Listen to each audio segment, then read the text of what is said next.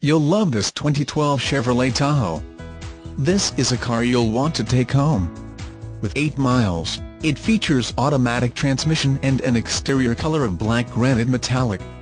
Call us and be the first to open the car door today.